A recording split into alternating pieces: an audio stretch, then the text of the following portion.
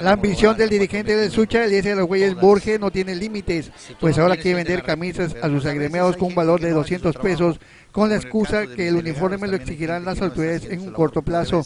El uniforme va a costar 200 pesos la camisa, se va a vender en el mismo sindicato, ¿sí? de ahí se va a proveer todos los uniformes.